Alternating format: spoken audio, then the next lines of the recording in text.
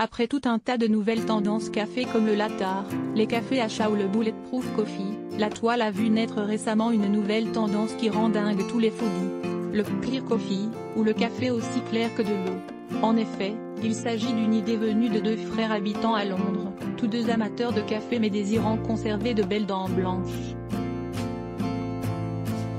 Ainsi aurait été mise au point une toute nouvelle technique de traitement des grains de café, permettant d'obtenir un breuvage transparent.